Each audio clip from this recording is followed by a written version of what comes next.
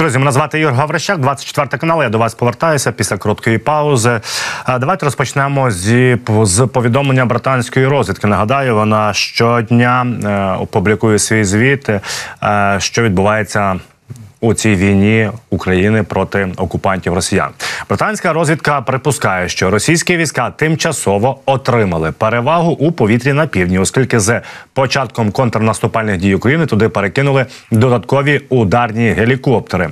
Аналітики розвідки відзначають, що з початком українського контрнаступу на півдні РФ перекинула додаткові ударні гелікоптери. Зокрема, доступно супутникові знімки, що засвідчують розташування на литовищі Бердянська по понад 20 додаткових російських ударних гелікоптерів. У попередньому огляді британська розвідка повідомляла, що російський генерал-майор я вам теж про це казав. Також Сергій е, Гарячов також був десь орієнтовно 12 червня е, ліквідований щодо Бердянського аеропорту і цієї техніки, яку вони там залишили. Там і мі 8 і К-29, і К-52. Якщо дивитися на ці знимки, то знімки супутникові, то там гелікоптери розосереджені на литовищі, аби е, себе убезпечити, хочуть таким чином росіяни від влучань е, нашої, е, нашої артилерії, в тому числі. Таке розосередження дозволяє їм не зовсім сильно боятися ударів ракет Storm Shadow. Shadow, які нам надали британці, тому що тоді буде враження неякісне. Але натомість ми можемо працювати безпілотниками. Вже неодноразово це демонстрували. І в такому випадку безпілотниками можемо падати прямо їм на їхні гелікоптери. Нагадаю вам, що за останні дні. На фронті почастішали випадки, що ми б'ємо їм е, власне гелікоптери К-52 за останні 24 години ми також їм ліквідували. Ось ви бачите так. Різна е, вид гелікоптерів різним кольором. От К-52, К-29 і Мі 8 або Мі 24 помаранчевим кольором. Це от е, дані е, супутникових знімок від е, схем і от Радіо Свобода. І ви бачите, що. Вони розкидані по всьому литовищу. Знову ж таки нагадаю, це аби себе убезпечити від ударів з повітря. А якщо то говорити до речі по південному фронту, то просування наші є, і як я вам вже нагадував, там стоять. Елітні бригади вже воюють на передові від росіянців. 23-я е, окрема штурмова бригада, 45-та, яка там чуть не при Путіну навчалася. Е, багато хто каже, що на навчання одного бійця з 45-ї за роки витрачається від 1 до 2 мільйонів доларів.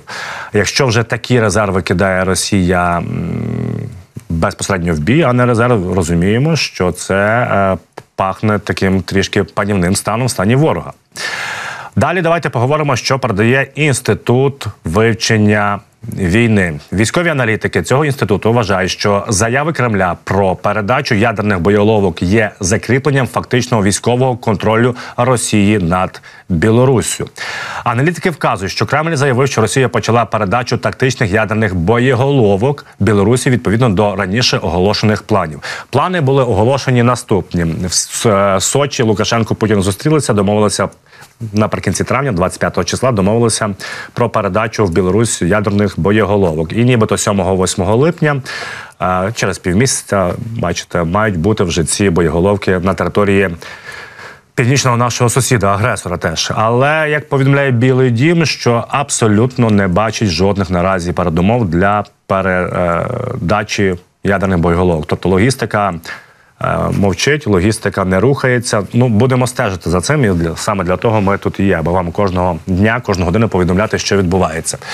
Неспокійно було на тимчасово окупованому в Криму за останні 24 години, тому що місцева окупаційна влада повідомила наступне: що спочатку.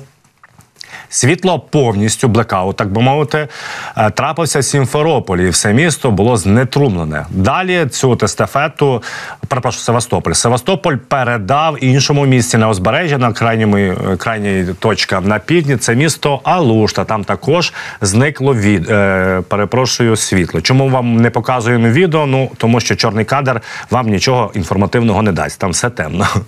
Відповідно, і далі, якщо говорити, це була не межа тому що е, далі світло пропало в місті Джанкой. А Джанкой, я вам нагадаю, це є така потужна, одна з найпотужніших логістичних розв'язок в самому серці, фактично тимчасово окупованого півострова, від якої йдуть розгалуження вже чотирьох, в тому числі і залізничних шляхів, і автодорожніх е, напрямів. Це від Керчі до Генічеська і до Армянська, і, відповідно від Севастополя, теж через Джанкой, і два е, сухопутні шляхи з Криму на Херсонські запорізькі напрямки. А, ну, якщо нічого не видно. То хоча б можемо послухати, що ж кажуть з тимчасово окупованого Криму про цей от блекаут е, за останні 24 години. Вот такой Севастополь, город, в котором отключили электричество. Вся арт-бухта, центральная часть. Света нет уже минут 15. Что происходит? Весь город отключили Весь город свет. отключили, весь город. Пипец. Смотри, все просто снимают что-то. що там знімають, тому що нічого не видно. Чорний кадр Малєвича. Е, Розуміємо, так, якщо знеструмлюються такі міста, як Севастополь, Алушта і Джанкой, відповідно, таким чином і слабне оборона цих міст. Оборона не міст, власне, а оборона техніки і ППО противника. Тобто, це не просто так, якісь планові відключення, це щось трапилось, про щось пробіглося. Відповідно, саме таким чином ми можемо ослаблювати позиції ворога. Вже неодноразово в Криму відбувалися подібні речі. Нагадаю вам, ми били і по їхніх базах, і по їхніх ем, портах на північному заході, на південному заході порти ми влучали. І також біля Керчі та Маню, Туапсе і далі там нафтобази розташовані російські, звідки паливо, нафтопродукти, мазут і все, що необхідне для руху техніки, йшло через тимчасово окупований півострів. Загалом, в середньому, десь, якщо говорити по логістиці, то через Крим, Кримський півострів на фронт е, проходить орієнтовно десь 30-33% логістики росіян. Розуміємо, третина це потужно. Так, в них є Волноваха, так Новоазовське, і звідти вони. е, Значно більше перекидають, але якщо їм бити третину того, що вони перекидають, то розуміємо, що послаблення буде е, суттєвим. Далі говоримо про тимчасово окупований Крим, і е, є в нас інформація від представниці постійної в Криму Ташаєвої, що вона каже? Каже наступне, що яким буде статус, роздумують над тим, яким статус буде Криму після деокупації.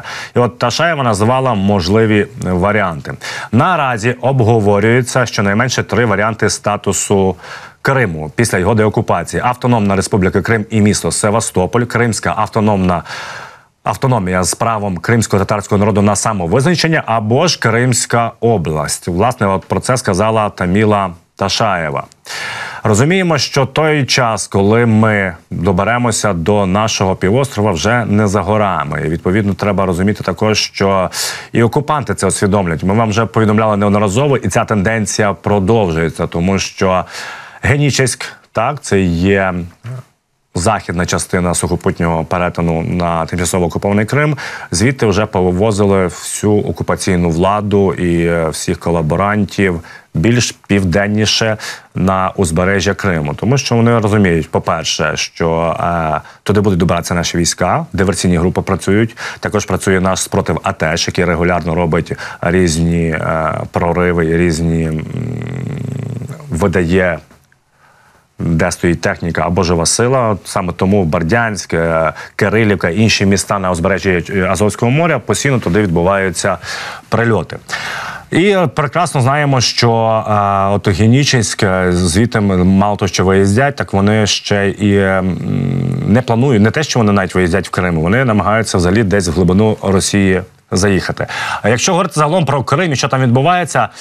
Абсолютно, абсолютно там немає поняття курортного сезону і на чому заробляли е, гроші кримчани кожного року. Всі росіянці відмовляються туди їхати, розуміють прекрасно, що е, там неспокійно і там е, не може не бути ніякого курортного сезону. Е, слухайте, давайте рухатись далі і поговоримо трішки е, про авіацію, яку нам на, повинні надавати наші союзники. Так, от міністр. Е, оборони України Резніков розповів про деталі F-16. Міністр оборони Олексій Резніков вірить, що українські пілоти зможуть освоїти F-16 набагато швидше ніж за стандартні 6 місяців. Він вважає, що за 4 місяці українці зможуть опанувати західні винищувачі. Що каже, от е, власне Резніков? Я оптимістично дивлюсь на те, що наші досвідчені пілоти з їхнім бажанням і прагненням напевне полетять швидше. Я маю на увазі не просто полетять, а вільно з маневрами вночі, в парі. Я думаю, за 4 місяці це реально. Я так вважаю, тому що ми вміємо дивувати. Ми насправді такі, ми вміємо вчитись. Резніков, зокрема, розповів, що українські екіпажі освоїли системи Цезар за три.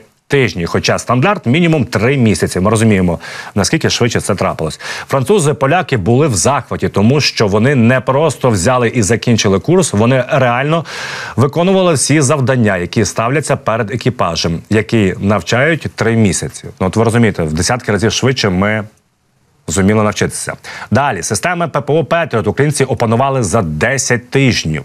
Ми розуміємо, це трошки більше ніж 2, 2 місяці. Хоча стандартний час підготовки екіпажу 10 місяців. І як вам демонструють зараз наочно кожного дня зведення, якщо не дай Боже трапляються обстріли. Власне е, росіянами бачимо, що системи Петріот працюють 100% і безпомилково. Бо починаючи з 1 травня е, було кілька днів лише, коли росіяни, особливо в травні, ну буквально кілька днів, що не обстріляли нашу територію, і в е, Київ, столицю, нічого не долітало. Збивало так, падали на жаль уламки, але абсолютно нічого не долітало. Бачимо підсумок навчання. Наші хлопці та дівчата дуже молодці. От, власне, повертаємося до міністра е, Резнікова. Тому міністр впевнений, що українські пілоти полетять швидше ніж за 6 місяців. Однак не може пілот літати самостійно. Йому потрібні інженери, техніка, обслуговування, зброярі, заправники тощо. Це надскладна техніка. Ось цей курс навчання він довше ніж 4 місяці. Якщо в нас є пілоти, які розмовляють англійською мовою і швидше це опанують, то інженерів і техніків дещо менше. Крім того, паралельно потрібно буде готувати інфраструктуру. Потрібно підготувати для цього аеродроми, підготувати укриття, потрібно обслуговувати. За словами Резнікова, аеродроми для цих літаків будуть усередині України, що важливо. При цьому він наголосив, що Україна зможе отримати літаки не раніше. Нового 2024 року, і отут постає насправді питання, тому що ми прекрасно розуміємо, якщо ми говоримо про а, новий 24 рік, це найближче це є січень. До січня місяця ще півроку. Що робити цих півроку, коли в нас немає авіації? Ми прекрасно розуміємо, що авіація відігравала би ключову роль при контрнаступальних діях. Тобто розуміємо, що контрнаступальні дії будуть не в один етап, це точно. Які є альтернативи? Спочатку ми говорили з вами про альтернативи від Австралії і про те, що вони списали FA-18 41 одиницю, три ескадрилії за натівськими стандартними. е, Фактично, відповідно, була надія, що ці от FA-18 нам зможуть передати. Але на жаль, посол е, тамтешній нас спростував цю інформацію. На мало ймовірно, що ми отримуємо FA-18. але це ще не все, тому що власне міністерство оборони Швеції за підсумками засідання контактної групи з питань оборони України підтвердило, що українські льотчики візьмуть участь в ознайомчому навчанні на шведських винищувачах Джес 39 Gripen. Згідно з рішенням, Збройні сили Швеції буде доручено провести ознайом... ознайомче перепрошую навчання українських пілотів та пов'язаного з ним авіаційного технічного персоналу на літаку JIS 39 Чи далі буде розвиватися е, події в цьому напрямку? І окрім ознайомчого навчання, ми можливо отримуємо ці гріпини. Будемо дивитися. Їх не так багато, звичайно, в світі, як F-16, нагадаю вам, F-16 орієнтовно до 5 тисяч. В Швеції цих гріпенів є орієнтовно 200-250. Е, Якраз та кількість, яка нам потрібна у цій війні проти Росії. Але розуміємо, що шукати нам авіацію потрібно. Давайте трішки поговоримо про те, що відбувається. От е, знаєте. Події на півдні і контрнаступальні наші дії біля Оріхова, Голяйполя і Вугледара в цьому напрямку е, трішки е, так заблу, заблурили е, дії наших героїв на інших напрямках. Тому що в нас нагадаю є Бахмутський напрямок, теж важкий. Наші хлопці і дівчата там працюють. Там теж е, до речі, я вам хочу сказати, знаєте, ну ми Дуже часто забуваємо. У нас відбувається зараз по всій лінії фронту просування при умовах, коли е, живої сили в противника більше. Артилерія по кількості вони переважають. В повітрі в них також є. Е, Перевага, от ми зараз про це з вами говорили, що в них є гелікоптери. Тобто, в умовах, коли ворог перевага переважає в аспектах живої те, е, сили, техніки, авіації, ми примудряємося просуватися. Це взагалі руйнує будь-які доктрини, будь-які канони ведення бойових дій, особливо якщо ми говоримо про розуміння ведення бойових дій нашими союзниками. Саме тому вони і дивуються, саме тому і генерали, і офіцери, офіцери, е, в тому числі і генерали. Західні е, не можуть зрозуміти, як ми так швидко навчаємось. В нас просто немає ні часу, ні вибору, тому що ми повинні захищати свою землю, і відповідно тому ми в десятки разів швидше навчаємось, і це ніяк не погіршує якість цього навчання. Навпаки, ви ж бачите, що знову ж наголошую, попри перевагу ворога в живій силі в техніці, ми просуваємось. Це взагалі нонсенс. Я думаю, що згодом, коли буде вже наша перемога, завершиться війна, це віде якимось безпрецедентним. е, безпрецедентною подією в історії людства, тому що так героїчно е, відстоювати свою землю і відкидати противника, який переважає, це справді унікально. Так, от Бахмутський напрямок. Що по Бахмутському напрямку? Офіційно. е, Конкретно нічого генштаб традиційно не повідомляє, тому що, як ви знаєте, і ролик Кирила Боданова, голови е, керівника головного управління розвідки, що перемога любить тишу. І треба чекати. Загалом риси, які наступні. Наступні е, такі, що ми рухаємося з півночі і з півдня навколо Бахмута, займаючи панівні висоти. Про що конкретно йдеться? Ви прекрасно знаєте, що на півдні е, від е, Бахмуту є населений пункт Кліщіївка, який стратегічно важливий для нас, і ми підступаємо з кожним днем по 200, по 500, інколи по кілом, одному кілометру. Ми підходимо до цього населеного пункту. Ми не діємо як російська армія, бо для російської армії це головне пропаганда. Це головне, що сказати з телебачення. Відповідно, вони, е, коли просувалися від Попасної 30 кілометрів до Бахмуту, орієнтовно 33 кілометри, вони е, просувалися.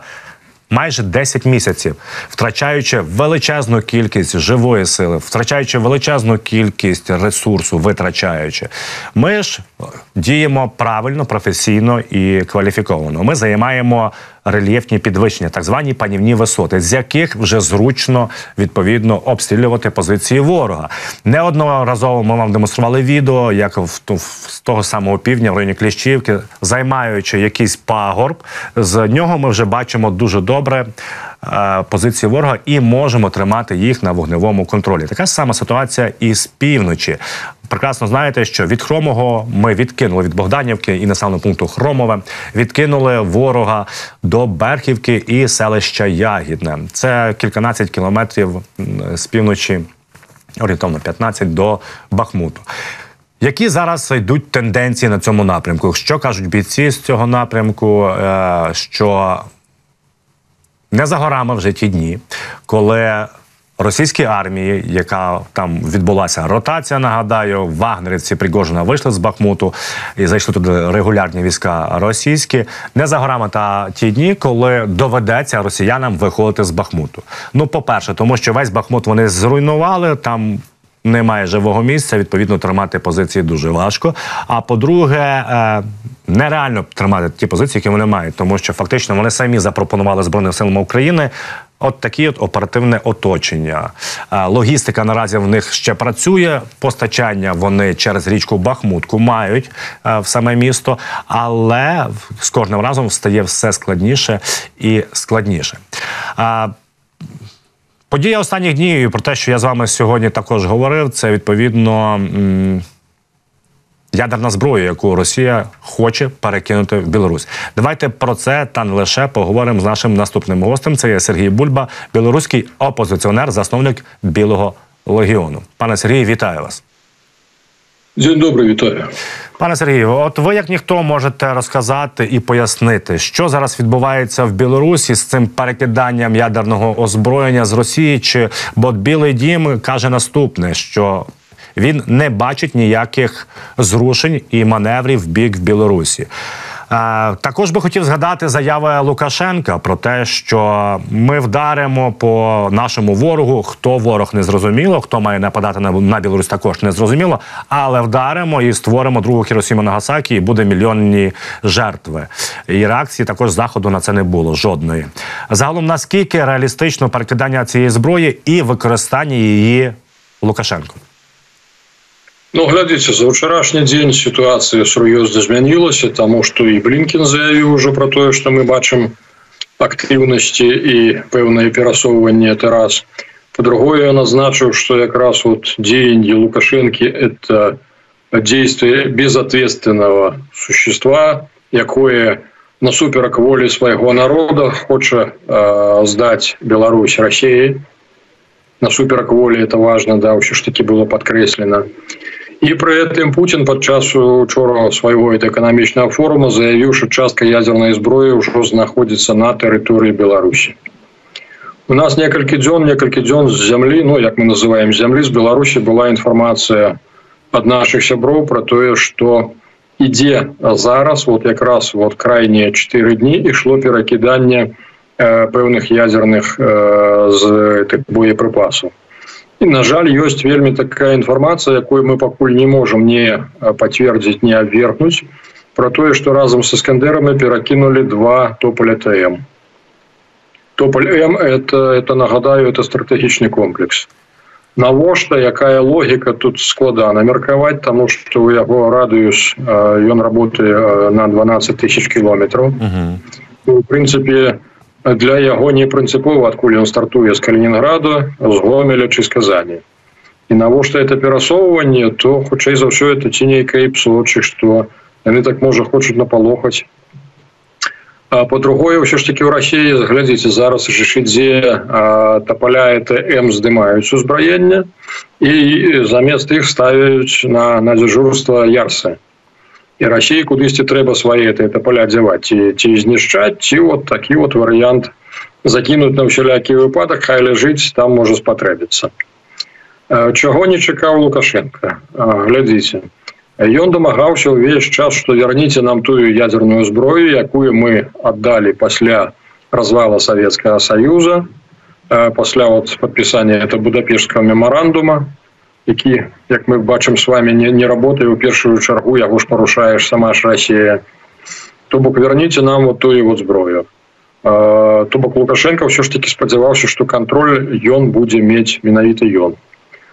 Что что пайшло не по плану это тое что при подпісанні договора уже непасрэднага договору паміж міністрамі обороны шойгу с хрененым Э, паўстала пытанне что расіяне сказали что разом з ракетами ідзе контынгент расійскіх солдат вот это стало для лукашэнкі нечаканасцю і ўсе спробы патлумачыць что мы тут самі справимся мы самі даму рады все добра як бы так но русские без усялякіх сумненняў сказали ці так ці не так все то бок абавязкова комплект ракетки разом с солдатчиками а это разумеется это такі троянскі конь які невядома калі спрацуе То бок заўсёды зараз Росія будзе мець магчымасць пры любым раскладзе які ў Беларусі будзе адбывацца транзіт улады які не будзе падабацца Росіі то Росія заўсёды зможа ўвесці свае войскі на падставе таго што быццам бы яны мусяць гарантаваць як бы так захаванне вот этой ядерной зброі каб яна кары Божа не потрапіла ў трэці руки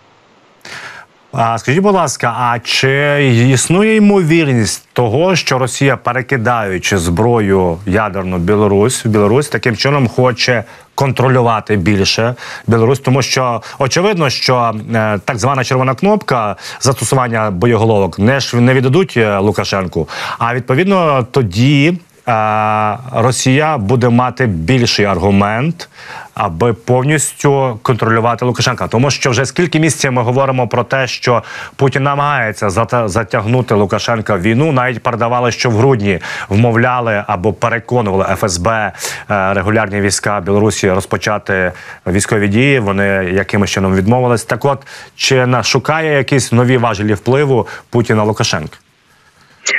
Тут ёсць подводны камень такі что что лукашенко выпрошиваю выклянчиваю эту ядерную зброю в обмен на то что я маўляў не могу увесці свои войскі во украину тому что ну потым калі украина край божа пераможа то яна прыйдзе зачысціць тэрыторыю беларусі разам з лукашенко. Таму ён выклянчваў што дайце ядерную зброю якраз бо якая будзе аргументам то я не ведаю як ён зараз будзе адкручвацца ад Пуціна і што ён зараз якія аргументы будзе прыводзіць. Ну я шчыра я ўвогуле як бы так не упэўнены што менавіта лукашенко ёсць ініцыятар не ўвядзення беларускага войска. На маё разуменне Путін мае дастаткова агентуры ва ўсіх сілавых беларускіх структурах на ўсіх узроўнях таму ён цудоўна разумее, скажем зрэз сацыяльнага разумення это, это, это удзелу беларусаў ці не удзелу то бок ён бачыць что что беларусы крытычна не хочуць ваяваць і тым больш яны не хочуць ваяваць з украінай Таму для Пуціна разумееце увесці беларускія войскі у эту гульню азначае тое што акрамя заградатрадаў што магчыма яшчэ прыйдзецца здымаць нейкія баявыя падраздзяленні з фронту для того каб беларусаў ўсё ж таки прымусіць э, ці ваяваць ці, ці, ці нават душыць магчымы бунт які падымецца Таму что вот размаўляючы з афіцерамі з некаторымі беларускімі яны так і гавораць што багата дужа багата хто незадаволеным тым што робіць лукашенко uh -huh Але ж кажа ну вот триггером можа якраз стаць сітуацыя калі нас увядуць у вайну з Украінай якраз калі пойдуць 200 300 то вот этот триггер спрацуе что стаць 200 ва Украіне стане ну, значно страшней чым дома атрымаць у плечы это артыкул крымінальнага кодекса за здраду радзімы разумееце так что яны пралічваюць і допускаюць Якщо говорити безпосередньо факти скільки тисяч сотень військ Білорусі от готові вступити в війну. Я кажу про тих, е, які е, змушені виконувати наказ, і про тих, які е, за своїми переконаннями готові воювати проти України. Ну, глядите, по силах специальных операций у нас три бригады сил специальных операций. Это, это Брестская, это Мариногорская, это Витебская. В принципе, разом недзе колькость их под 5-6 тысяч. Ну вот з іх мы разумеем что адсоткаў 30 готовыя ваяваць яны лічаць себе професіяналамі хотя яны нідзе ніколі не ваявалі але ж яны лічаць что маюць такую падрыхтоўку что іму ну ўсё роўна з кім ваяваць яны яны готовы. З другого боку усе астатнія подраздзяленні як то артылерыйскія я то мотопехота яны не настолькі аптымістычныя яны не не вераць у нейкі свой прафесіяналізм Таму якраз вот это і у тым ліку і супрацьпаветранай обороны артылерыі яны без натхнення іх это абсалютна не натхняе ім не хочацца яна прывыклі дома сядзець на сваёй базе Таму разумееце это пры савецкім саюзе было як бы складана тому что звычайна беларусаў адпраўлялі служыць куды-небудзь на кітайскую мяжу А зараз жа ж усе дома фактычна Беларусь не такая вялікая таму яны прывыклі ў комфортных умовах дома сабе на навошта ім тая вайна яна ім не патрэбная Таму вот разумееце что агулам беларусы нават калі разлічваць что Беларусь здольная выставіць это паўтарусь это три бригады ССО ну максимум да нават возьмем 6 тысяч добра. Таму что напрыклад вітэбскую яны калі праводзілі два месяцы тому назад праводзілі менавіта гэтай ўжо бригаднае навучанне то яны давялі штат з выклікалі з запасу 500 чалавек 500 офіцераў то бок их стало по 2000 Ну і плюс глядзіце это самое з того что мы маем это ну 6 бригад то бок разам разам это недзе 8 бригад то ну там брать калі это самое по нават по 4 тысячи усіх астатніх то ну, ну это тысяч 20 тысяч 20 агулам Я так разумею что Украина на беларускай мяжы трымае на усялякі выпадак на беларускім накірунку прыкладна такую ж колькасць от 15 до 20 тысяч Дык трэба разумець что украінскія сілы на сённяшні дзень это па-перша ўсё і э, натаўскія алгарытмы ўжо войны і досвед войны і то бок это людзі якія ўжо маюць умеюць в адрозненне ад беларусаў які для якіх это будзе ўсё ў першы раз разумееце это ж не тое что па яны прывыклі разганяць этих дэманстрантаў забіваць их і калі нічого ситуация это значна адрозніваецца Пане Сергію, я не знаю, чи чули ви повідомляла польська радіостанція наступне, що з боку Білорусі на днях було обстріляно територію Польщі, було навіть влучання в якихось їхню техніку, і про це донесли польському сейму. Наскільки це серйозно, тому що Польща це країна НАТО, чи все ж таки це більше на рівні е, неофіційної інформації? Хутчэй за ўсё больш на ўзроўні неафіцыйнай Таму што ўвесь час там ідзе канфлікт звязаны з нелегальнай міграцыяй яна не прыпынялася я выказываў меркаванне што магчыма лукашенко паставіў вот эту границу аднавіў з Росіяй менавіта для таго каб спыніць нелегальную міграцыю Таму што зараз у асноўным мне это нелегалы едуць якраз з расійскімі візамі то бок плацяць грошы туды а не а не лукашенко але ж ну я змушаны прызнаць что я памыліўся Нічога не змянілася то бок поток этих мігрантаў як ішоў так і ідзе пастаянна прыкладна на адным і тым ж узроўні. Недзе по 90 по 100 чалавек беларусы пропускаюць менавіта ў польскім накірунку для того каб яны стваралі праблемы. А вот якраз гэты ну арабскія хлопчыкі яны ствараюць праблемы.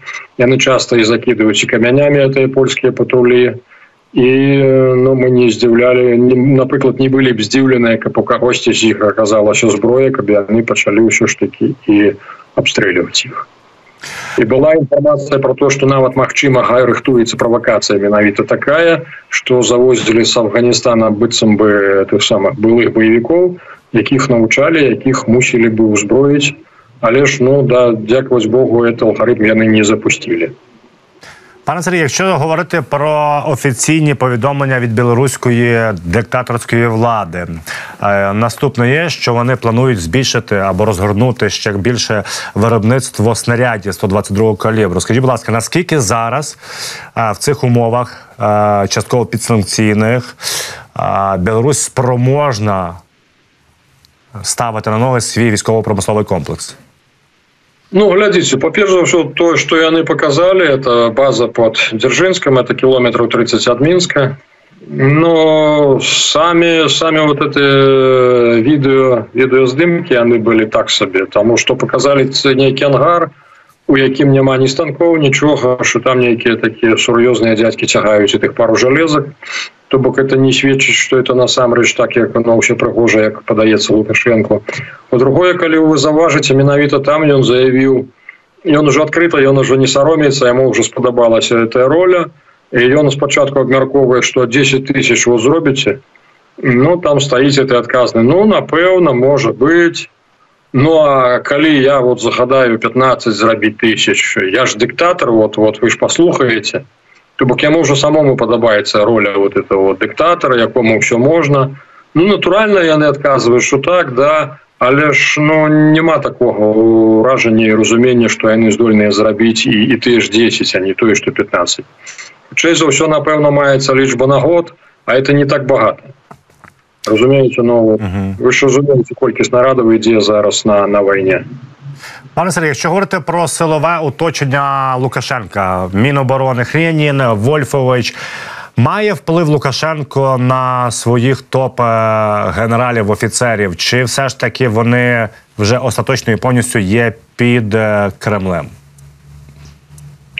Ну, все лічать, що, наприклад, Вольфович, да, що та креатура чисто кремльовська, Хрэнін пагаворваюць що ён якраз быў актыўна за тое каб усё ж таки беларусу уводзіць у вайну то бок ён прыхільнік рускамірскі наколькі лукашенко стрымлівае но ён чамусьці за некаторых упэўнены що яны асабіста яму адданыя что ён здольны іх весці ён здольны будзе задаваць загады.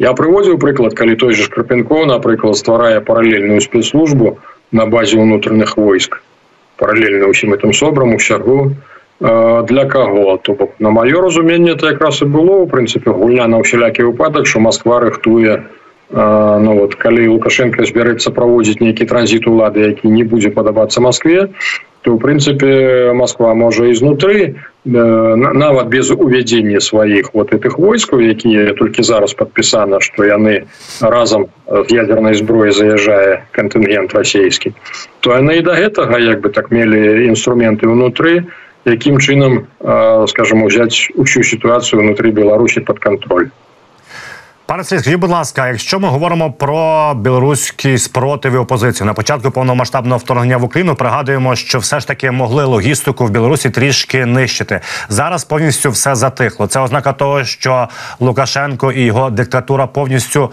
придусили повстанські настрої серед білорусів, і які вони є.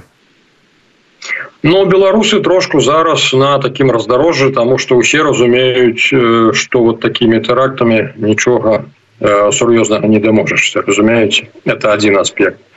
Другі аспект что да ўсё большай колькасці людзей даходзіць што неяк трэба мяняць не толькі тактыку але стратэгію мяняць Таму што глядзіце ну вот напрыклад у атачэнні ціханаўскай усе былі вельмі шчаслівыя калі ішла інфармацыя про той что лукашенко там паміраеш жыць ему засталося там три дні но то разумныя ж людзі разумеюць что ну памірае лукашенко і что это ніяк не гаворыць про то что завтра прыязджае ў Беларусь ціхановская і там сустракаюць з кветкамі і скажем так і прапануюць прысесці на на трон не наадварот усе разумеюць что тая военная хунта якая ў двадцатым годзе здрадзіла свайму народу прысягі свайму народу якая пайшла якраз за дыктатарам то яны будуць і далей трымаць усю эту эту дзяржаву ў сваіх руках нікога яны не подпусцяць То бок у нас атрымліваецца зараз разумееце две такія паралельныя беларусі одна вот это советская умоўная в ссср это под лукашенко а другая это тых хто былі змушаны в асноўным выехаць за межы якія ну да вот вот один з цэнтраў это ціхановская Ну але ж это дзве паралельныя рэчаіснасці яны ніяк не перакрыжоўваюцца не перасекаюцца Таму калі мы не падбярэм новую стратэгію то у прынцыпе трэба прызнаць што вот тым хто зараз на дыяспоры унутры нічого не свеціць Ну, власне, я десь так і думав. Пане Сергій, дуже дякую вам, що ви розповіли в реаліях, що відбувається а, в Білорусі, що відбувається силовим блоком в цій країні. І дуже сподіваюся, що білоруси. Ну, почнемо з того, що ми прекрасно розуміємо, що білоруський народ це не є російський народ. Білоруський народ наш немала частина підтримує і сподіваюся, що вдасться розвинути те, що вони роз... намагалися розпочати в 2020 році. Дякую вам. Дякую, слава Україні. Героям слава живе Біл- Білорусь. З нами був Сергій Бульба, білоруський опозиціонер, засновник Білого легіону. На завершення цієї години хочу вам показати, що на Росії є блогери, які вміють прозрівати. Чи вони прозрівають свідомо, чи несвідомо, це вже інше питання, але таки прозрівають. Вот видите, пятиэтажки, тоже Тошковка. Вот в этом, в этой развалине живет до сих пор одна семья. Ну, это страшно. Электричества нет. Средств существованию нет. Вот люди здесь говорят, вы нас освободили. Некто я слышал тоже такое. От чего вы нас освободили? От наших домов? От наших зарплат, от нашей жизни. Нельзя вести так военную кампанию. Будете получать в качестве освобожденной территории, так называемой, выжженную землю. Вот эта вот часть Тошковки, которая состоит из многоэтажных жилых домов, ну, наверное, также выглядит Мариуполь, Попасная, которая подверглась страшному разрушению. И Грозный 95-го и 2000 годов. Вот та же, тоже та же картина запустения вот этого страшного, страшного вот этого колесницы Джиггернаута, прошедшейся по вот этим жилищам, по людским судьбам. Здесь была подконтрольная Киеву территории. Вот год спустя. Вот ехали мы сюда. Вот что здесь происходит за этот год после того, как освободили от бандеровщины. Вот здесь, в Тошковке, было 4 тысячи жителей. Сейчас 170. Ну, клоун, ти картонний. Ти 9 років вже нищите наш Донбас. Е, Така от картина по всій, е, по всьому сході, тепер і не тільки.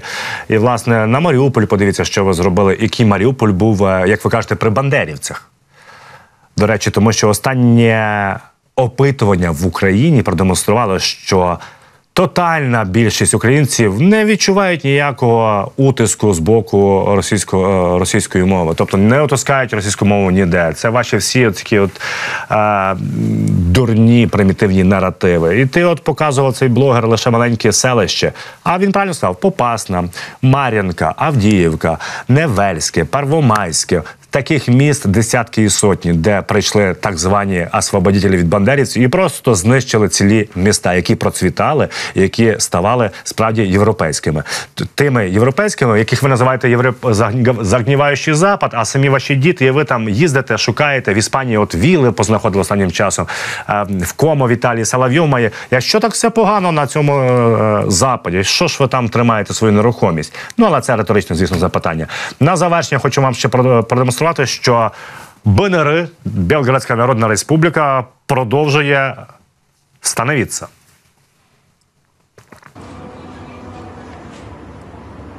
Ось ви бачите, що в Білграді щось горить. Я вам розповім наступне: що невідомо якого роду було влучання. кажуть місцева влада, що це безпілотники, влучили в багатоповерхівку. Що це за багатоповерхівка? Е, також невідомо. Але наступне я вам скажу, що приїхали туди пожежники, кілька машин. Вийшли, і знаєте що? І стояли і дивилися, як і мешканці, і е, люди, які проходили повз, на те, як горить, тому що їхні рукави, їхні шланги фізично не доставали до такої відстані. Тобто вони стояли, спостерігали, як. Е, Білградська Народна Республіка горить. Загалом я вам скажу, в Білграді е, все дуже і дуже зараз плачевно. По-перше, своє бажання захищати в лапках Білград висловили, як і Ахмат, це є бойовий підрозділ Рамзана Кадирова, е, диктатора, власника Чечні, і також Євгеній Пригожний, який є керівником ОПГ Вагнер. Ці дві е, приватні компанії, можна сказати готові їхати в Білград. Кажуть, що Ахмат вже трошки доїхав, але там вже урудувала частина е, регулярних військ е, Росії, начебто приїхали туди захищати від РДК і Легіону Свободної Росії. Так от ці війська, які приїхали, почали самі ж там і мародерти. І люди масово в Білграді пишуть, що то обікрали, те вкрали, те відібрали, там побили і те також відібрали. Розуміємо, що якщо туди приїдуть ще вагнерівці і ахматівці, які між собою конкурують, там взагалі вийде така клоака, що просто треба буде спостерігати, е, е, як один одного. Винищують. Слухайте, якщо нам не треба використовувати наших е, силу наших героїв і нашу зброю, то ми за любий такий подібний двіж. На цьому я буду завершити всі свої дві інформаційні години. Ви далі не перемикайтесь, буде не менш цікаво. Далі з вами Ірина Узлова.